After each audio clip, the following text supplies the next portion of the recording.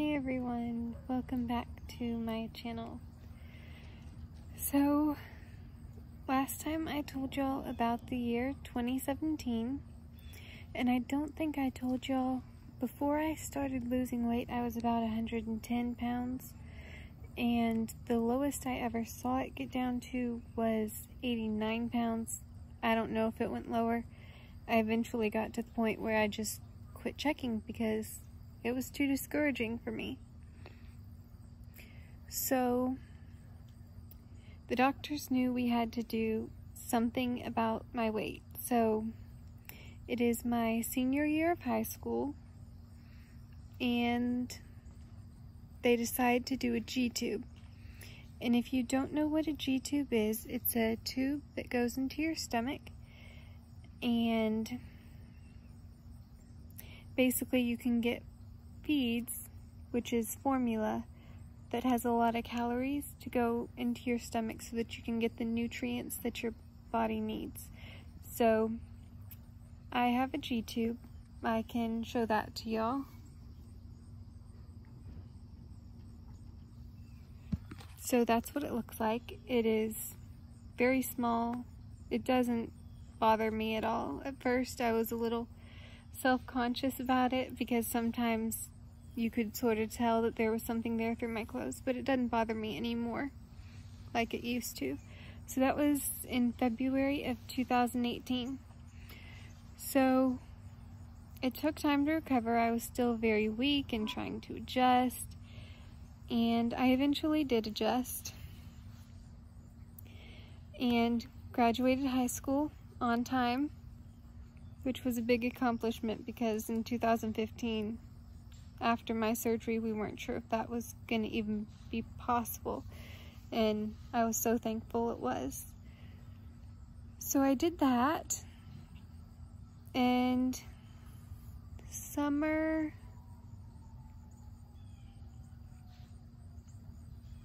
I don't think we really did anything much that summer. Oh, we did one of my biggest dreams. I was unable to go on my senior trip because I was too sick.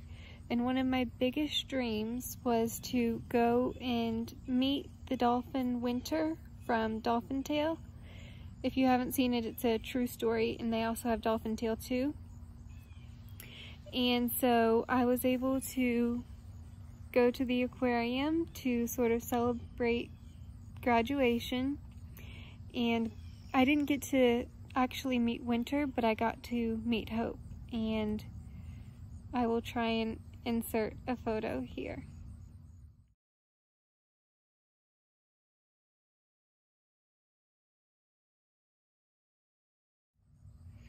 Meeting Hope was one of the best experiences I had. I did find out that a lot of the stuff in the movie is not true. Um, but it was still a wonderful experience to meet her. So we spent some time in Clearwater that summer and then went to visit my dad's side of the family that live in Florida. And after that, I it was time to start college. So, I started my first year of college. My first semester, I took history and English, I think. Not 100% sure on that. No, I took math and history. That's what I did. And during that semester, we actually went to a conference. It's called the Myotonic Dystrophy Conference. It was in Nashville. I actually had the opportunity to go the year before as well. And the year before, it was the first time that I actually met someone outside of my family with myotonic dystrophy. And that was a really good experience to connect with some people who had the disease. And so I got to reconnect again, see those people that I had met the year prior, and we met a family who lived a couple hours away from us, which was nice to be able to meet them. And we still try and keep in contact with them. So I did that. And then time went on. I was still having the breathing pain. And then, hmm, it was a week or two before Christmas.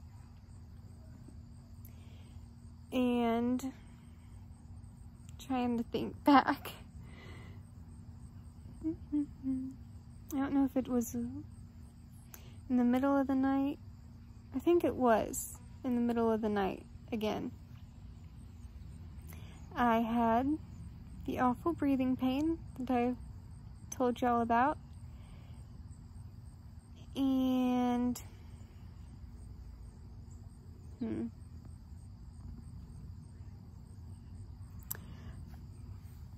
I ended up going to the ER.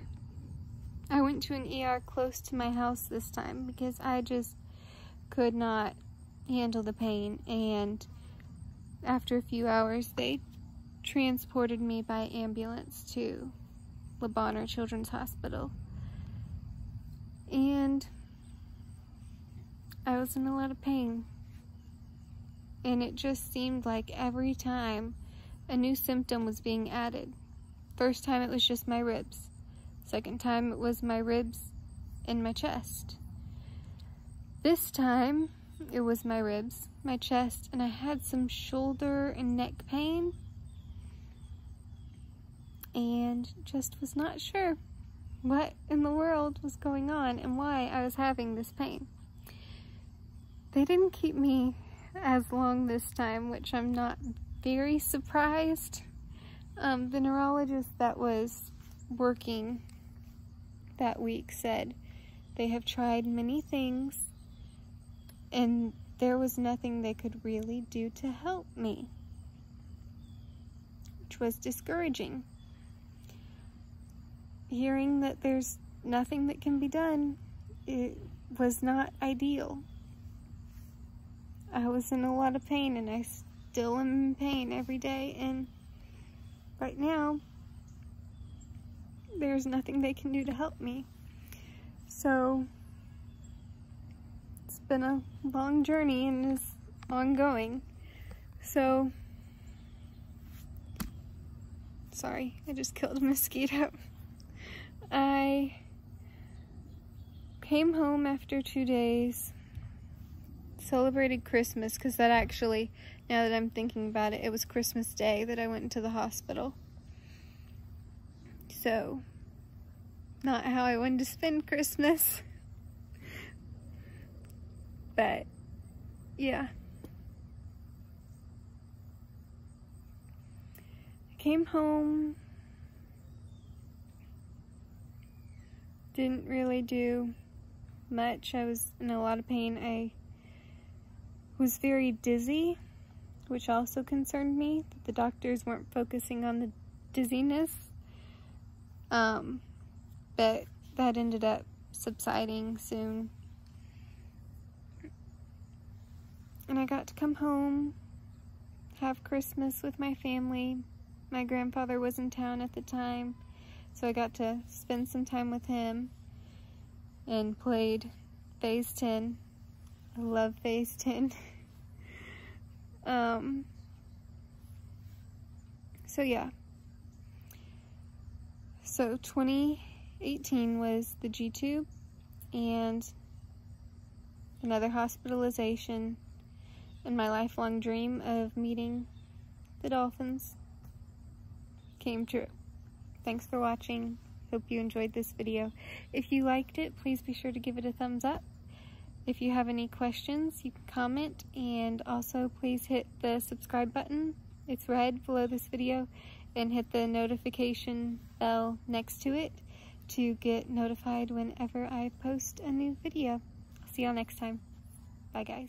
Today's piece of encouragement is a verse from Second Chronicles. I don't know the exact reference, um, but it is, we do not know what to do, but our eyes are fixed on you.